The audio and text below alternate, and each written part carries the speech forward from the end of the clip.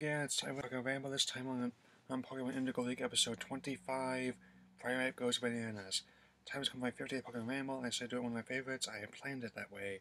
And it, we open on Oak Labs, Professor having breakfast when the phone rings. Means that, means that, means Freddy means to him and Shaw bids Professor good morning. Shaw owes all his badge splits for dismay when Gary lets have five badges and passes on City.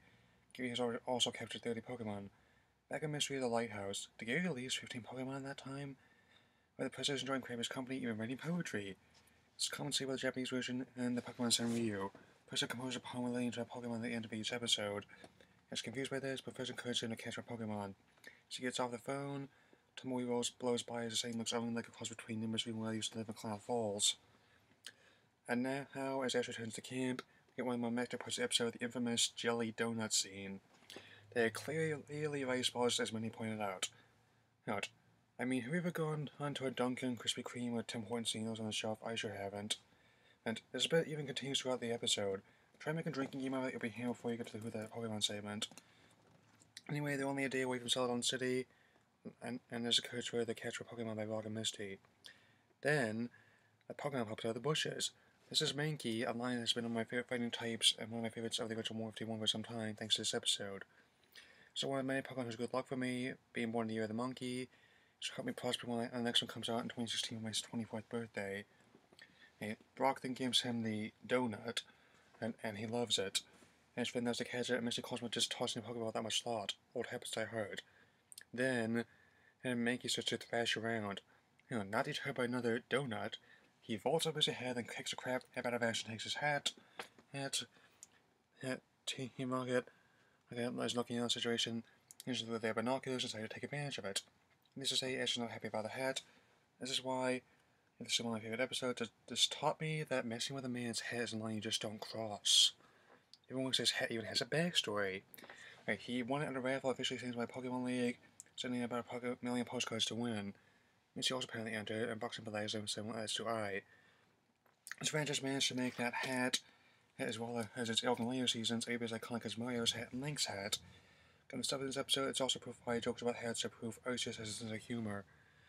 Situations further come out by Teamwork intervening, one opponent causing more trouble.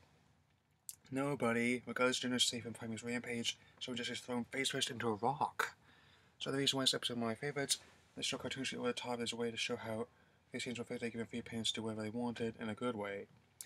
The thrash continues, Pipe sends Brock blasting off and tries to help, Everyone comes running through the hills, but it's definitely worse to run into than Tusken Raiders. Here's naturally Timok is digging yet another one of the trademark hole traps. Stanley Yachts has nothing on why the coyote like villains Jessie, James, and Meowth. Just in that speech of uh, if we like to cover right on her head. And one of the many unintentionally hilarious lines to Nugget. Get your mind out of the gutter. Now, Prime has Ash cornered and he has had enough. Decides he kept trying to balance the others revisit for Pfizer Red Hot Unit. My current reviews Really hope eventually Univag will come, I to come out soon, but for now it's up on Pokemon TV for Charge Up Mail kick off summer. Journey even manages to learn Rage to take on Primeape. Despite all his rage, they are still all just rats in a cage. Because when to get the Hash Primeape is taken down with one more flamethrower, so he can have it back, as well as new Pokemon. As we tell City, with Team Up came with a field of Primeape, Ape, Ape, wishing the heads of to presumably have the crap pick out of them. I'm so managed to quite easily send a test of time for me, Give us high still watch every chance I get. Entertainment tape. Okay, we can't every time we check out the videotape on library. That's why I'm ordering the release of the Indigo League says or the discs out. I'm watching that episode alone. Everything just seemed to click with me and why I love this episode years later and in those days. Animation, the way the characters acted, the comedy, they managed to take out the calling Pokemon from the games, my favorite fighting types. Used to this day, and it's one of my favorites for other reasons, but my favorite episode of Kanto and of the series yet to come on my Kanto Marathon gonna say watch this one. I can't remember think I thought Pokemon was gonna continues next time. I look at Pokemon Scent-sation. See you, Space Cowboy. Mm-hmm.